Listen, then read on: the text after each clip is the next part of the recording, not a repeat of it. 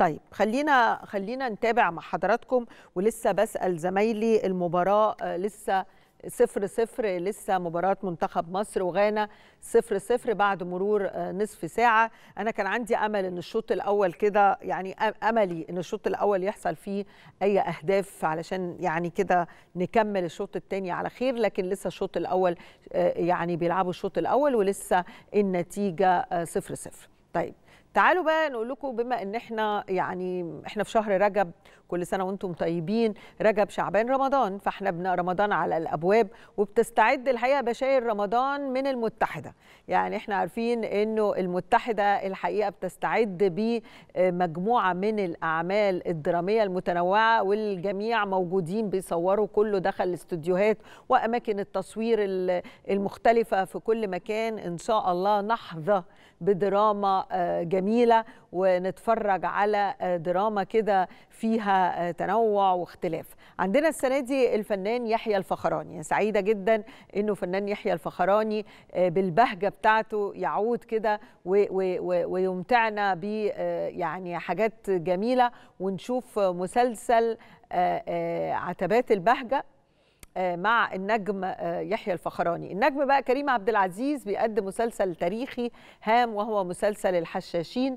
هنشوفه ونتابعه وأنا شايفة إن دي برضو آه، يعود كريم عبد العزيز ولكن في نوعية مختلفة. إن شاء الله هتبقى حاجة حلوة. أحمد مكي مازال كالعادة سيمتعكم على الفطار ويكمل الكوميديا مع الكبير قوي مش عارفة. مكي كل سنة طبعا بيبقى عنده مفاجآت كتير فإحنا في انتظار مفاجآته. أمير كرارة كمان بيقدم مسلسل بيت الرفاعي. فيعني شايفة إنه إن شاء الله يعني باشا مصر يعود في دور جديد في بيت الرفاعي إن شاء الله يعمل حاجة حلوة. في مسلسل عاجبني اسمه إمبراطورية ميم. آه، مش عارفة خالد النبوي في إمبراطورية ميم هيكون واخد دور فاتن حمامة ولا ده شكل جديد؟ ده اللي هيجاوب عليه المسلسل إن شاء الله في رمضان. أما ياسر جلال هيقدم ألف ليلة وليلة. مش عارفة إيه الحكاية. ياسر هتبقى شهريار ولا هيبقى ألف ليلة وليلة قصص؟ خليني آخد تفاصيل أكتر مع الزميلة العزيزة الناقدة دعاء حلمي. مساء الخير يا دعاء. مساء الفل. ازي حضرتك يا أستاذ شفتي؟ الحمد لله. إحنا بقى مع... إحنا مع بعض بقى لحد. رمضان كده يعني. أول بأول نعرف إيه اللي. بيحصل مع بعض يعني. بالظبط بوصلة الدراما. أيوه أكيد. يعني آه، بصي الدراما بتسعد الناس وأنا عارفة إن المتحدة اولا اللي أنا قلته ده كله فيه تنوع كبير قوي. كلميني اولا على الموضوعات. آه، فكرة التنوع اللي حضرتك قلتي عليها فكرة إن إحنا بنقدم فرايتي بشكل كبير. اولا إن عندنا مسلسل تاريخي كبير زي الحشاشين اللي تم تأجيله من السنة اللي فاتت كانوا بدأوا تصوير وبعدين تم تأجيله لأنه آه، مسلسل انتاجيا مسلسل ضخم آه، بيتناول حقبة تاريخية مش كتير يعرف عنها حاجة. بداية التيارات الإسلامية بداية آه، نقدر نقول التحزب باسم الإسلام. فالتناول هيبقى مختلف بالذات ألم عبد الرحيم كمان مستنيينه في المنطقة طبعاً، دي لأنها طبعاً. ملعبه. طبعا. فمحتاجين نشوف الخلفية التاريخية اللي خلت البداية لهذه التيارات اللي طلعت علينا من كل حدب وصوب بنعرف بدايتهم كانت أخبارها إيه. طبعا. فالمسلسل ده كلنا في انتظاره. فكرة أكيد توثيق الحقبة التاريخية اللي مش كتير يعرف عنها. فده أكيد ناس كتير هتبقى مستنية مسلسل كبير زي ده بالذات كريم عبد العزيز. بيحظى بشعبية وجماهيرية عظيمة سواء في. السينما أو في الدراما. خليني أقول لك بس نرجع يا جماعة على ال post يعني نفسه ال poster البوستر نفسه يشدك. يعني آه، كريم عبد العزيز يعني ده طبعا أكيد دي لسه حاجات في الأول آه، لكن كلها بتشد الحقيقة.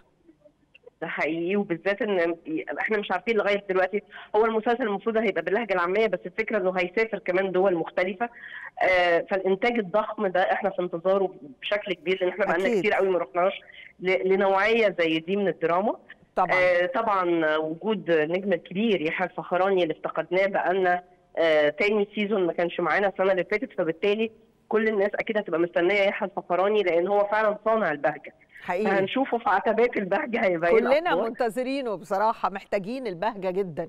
يعني البهجة لابد إن هي تبقى آه، دواء يعني يعني ما بيكون عندنا كمان أزمات وتعب فما ملناش حل غير يحيى الفخراني يعني.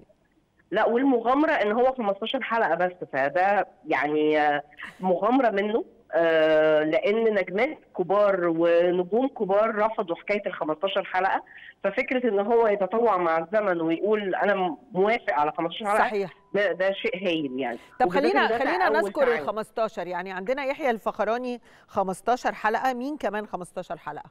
آه، في نعمة الأفوكاتو اللي هي المفروض آه، آه، مي عمر آه، اللي هي قايمة بدور محامية. المفروض وبنشوف تفاصيل المحاماة ونوعا ما يعتبر مسلسل light كوميدي تمام. آه، لغاية دلوقتي لسه ما بانش قوي مين بس نيلي كريم احتمال كبير أعتقد إن هو 15 حلقة. وده هتقوم فيه بدور بنت شعبية. والمرة دي هنلاقي زي ما يكون إيه ال effect بتاع جعفر العمدة أيوه. بيبتدي يبان عندنا هنا. أغلبهم رايحين لل- للشعبي. أيوه أعتقد يعني نيلي كريم. فراولة فراولة صح؟ بالظبط رايحه أيوة، أيوة تمام. شعبي فأول مرة أو آه، إن إحنا نشوف بقى شعبي صرف نفس الحكاية شايفة ريهام حجاج آه، في مسلسل صدفة رايحة برضو شعبي وبنت فقيرة ومن حارة. آه، نفس الحكاية هتلاقي عندك آه، أمير كرارة رايح برضو بيت الرفاعي شعبي. أيوه. أيوه فواضح يعني أمير العمدة- هتشوفي أمير كرارة من سوق الكانتو البيت الرفاعي. إيه إيه الجديد اللي هيقدمه؟ فكرة إن أنت تشوفيه في أجواء حارة مصرية وفكرة ال- المنافسة وفكرة إن هو يبقى كبير ال- المنطقة دي بيت ال- البيت اللي بتدور حواليه كل الأحداث. يعني زي ما بقول لحضرتك هو جعفر العمدة غاب السنة دي ما يعني محمد رمضان آه، بقاله كذا سيزون بينزل كل سنة. السنة دي مش موجود بس المسلسلات غالبيتها رايحة الموضة الجاية يعني هتبقى هتبقى شعبي يعني هقول لك حاجة آه، يعني آه، دعاء خلينا نتفق إنه حتى طبعا النجاح كله كان لجعفر العمدة بس هو ده الطقس المصري في الدراما. يعني انت لما ترجعي مثلا وتشوفي مسلسلات كتيرة جدا كانت بتقدم آه، يعني الحارة المصرية وال- وال- والأماكن ال- الشعبية بما فيها ليالي الحلمية بما فيها كان الشهد والدموع بما فيها أرابيسك فهو ده الطقس المصري ودي المسلسلات اللي ارتبطت بيها البيوت المصرية. فانت كمان بترجعي لها يعني إحنا ساعات بنشوف في الأيام العادية إعادات لكل هذه المسلسلات وتلقى مشاهدة كبيرة جدا ونجاح. فاذا أعتقد ده ذكاء من المتحدة إن هي برضو بتلمس آه، المصريين بيحبوا إيه بيروحوا لفين؟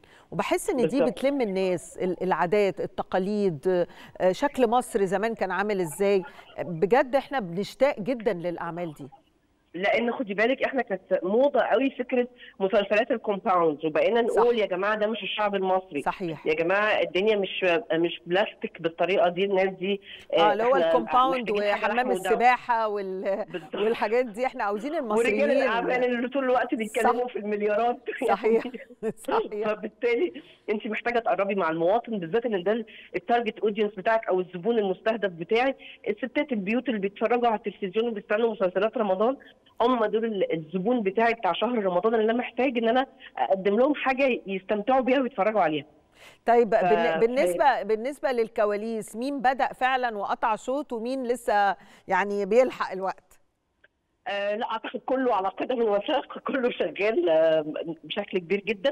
آه في مسلسلات حتى لسه مش عارفين إذا كانت هتتعرض على أنهي شاشات لغاية دلوقتي لسه ما طبعا ما ده لسه ده. شوية آه. آه فبس الفكرة كلها إن إن كمان بقى عندك ال- السنة مش بس مجرد شهر رمضان الحقيقة إن أنت أهو عندك في مسلسلات بتنزل دلوقتي في الأوف سيزون حدوته منسيه لسه بينزل آه، في أكتر في الحقيقة كذا كذا مسلسل حلوين حلقه خاصة على Watch It وبيننا ميعاد نازل يعني برضو ده حاجة حلوة يعني فالفكرة كلها إن أنت تبدأي أو تخلي الشاشة عندك طول الوقت فيها أعمال مبتهجة. جديدة وفيها صح. أعمال جيدة آه، ده ده شيء لطيف جدا نفس الحكاية حالة خاصة نفس الحكاية زينهم فكرة انتعاش ال- الشاشة طول السنة دي آه، دي ميزة ده اللي إحنا كنا محتاجينه طول الوقت إن العجلة تفضل دايرة مش أكيد. بس السبوت يبقى على آه، رمضان ده بالعكس ده إحنا لو يبقى أقل كمان يعني عدد ال- المسلسلات اللي موجودة في رمضان يا ريت تبقى أقل عشان على الأقل تاخد حقها في المشاهدة. أكيد. آه، آه، إحنا كده بدأنا معاكي خلاص ال- الموسم بدأنا نتكلم عليه بنتكلم عن الكواليس عن كل حاجة إن شاء الله هنستكمل معاكي أول بأول وبنقترب من الشهر الكريم وأيضا آه، من كل الأعمال الناقدة. الأستاذة آه، دعاء حلمي أشكرك شكرا جزيلا.